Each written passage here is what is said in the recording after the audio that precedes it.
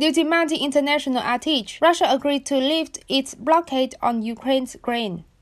Ukraine is one of the world's bread baskets, a leading exporter of wheat, barley, corn, and sunflower, but its shipments plummeted after the war began.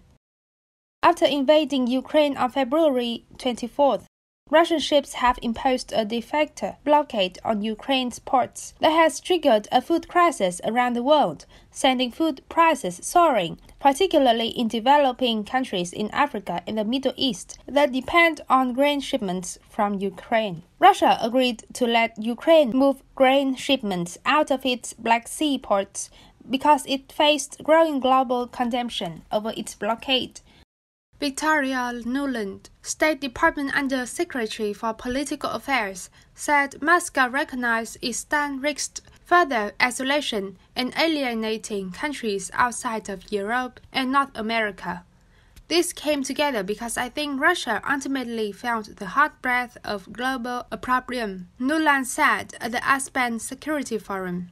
Russia has blamed the global food crisis on Ukraine and NATO, but that argument was losing traction among developing countries that rely heavily on grain from Ukraine. According to Nuland, Russia has had to turn to Iran and North Korea recently for assistance, seeking drones from Tehran and workers from Pyongyang, reflecting its international isolation, according to Nuland.